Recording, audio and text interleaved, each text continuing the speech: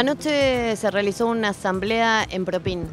Sí, anoche hicimos la última asamblea previo a las elecciones, eh, asamblea donde lo que se buscaba es el acompañamiento de todos los afiliados y, bueno, y, realmente que quede confirmada la, lista de precandidatos a, concejales para este compromiso del 2017. Así que sí, se llevó adelante, eh, bueno, se contó con, la presencia de varios afiliados donde se constató lo que ya se venía trabajando con el equipo de trabajo y con los distintos afiliados en reuniones previas, ¿no? donde se había hecho elecciones, eligiendo los candidatos varones, los candidatos mujeres, eh, acordando los eh, posibles acuerdos con el grupo del GEN y con el Frente Renovador Pinamar, así que bueno, se ha, confirmado todo eso, así que bueno, estamos a la espera de la confirmación de estas dos agrupaciones, eh, pero ya estaría definida toda la lista. ¿La lista cómo sería en principio? Mira, en principio los primeros tres candidatos, donde no hay duda, sería Roberto Delors, eh, Gabriela Ferretti y Marcos López, ¿no? Eso es lo que, lo que ya está confirmado. Y en el lugar número cuatro, eh, si confirma la participación el equipo del GEN, estaría Cristina Malegni y en el quinto, Matías Roa, en representación del Frente Renovador Pinamar.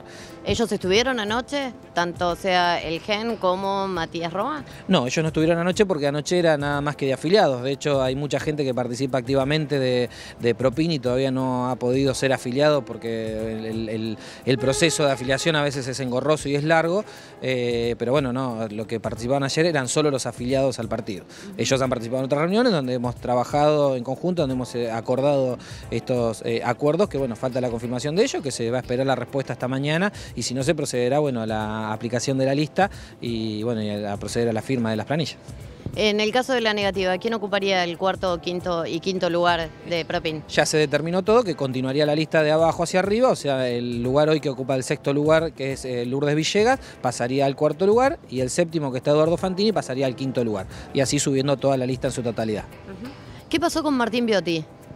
Martín decidió que este año no va a participar de la lista, sí obviamente va a estar dentro del, frente, como, bueno, como, como, lo estoy haciendo yo, que tampoco participo de la lista, pero bueno, nada, tenía una diferencia en cuestiones de, cómo se había elegido la lista, así lo manifestó y dijo que bueno, que iba a participar, iba a acompañar, eh, de la misma forma que lo hago yo, pero sin este año eh, tener una exposición mayor en la lista y bueno, sí, sí vamos a hacer un soldado más acompañando a todos los candidatos.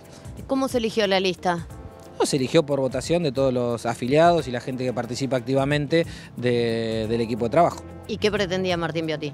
No, no, no, no, la verdad que no te sabría decir definitivamente en qué, o sea, pero fue una, por eso, fueron pequeñas diferencias, más motivos personales, entiendo, pero bueno, la verdad que lo importante es saber que está, que es, que es parte, que nos está acompañando y, y que va a ser uno más de los que va a salir a caminar la calle uno de los fundadores de Propin, básicamente. Totalmente, uno de los ejes fundamentales, o sea, fue el, mentor junto a Beto Cox de, esta iniciativa de Propin, o sea, fueron de los dos que, iniciaron y empezaron a juntar voluntades, nos empezaron a sumar, me sumaron a mí, lo sumaron a Guillermo, a Roberto Lord, y poco a poco se fue sumando toda la gente que hoy hacen un gran equipo de trabajo y de lo cual estamos orgullosos, ¿no?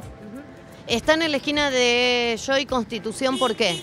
Mira, hoy porque estamos haciendo el primer contacto con la gente, acercándonos a puerta de unas elecciones y bueno, el motivo es, eh, como estamos juntando las adhesiones, es estar acá también y bueno, charlar un poco con la gente, compartirle cuál es la lista que se ha, eh, que consensuado entre todos y, bueno, y empezar a, caminar este, esta, esta campaña 2017 que bueno, que, que a nuestro criterio es importante para Pinamar.